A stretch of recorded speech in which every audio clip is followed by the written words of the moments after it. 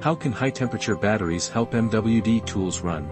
MWD tools are used in the oil and gas industry to provide real-time data on the drilling process, such as the direction and angle of the drill bit, the rate of penetration, and the geologic properties of the formation being drilled.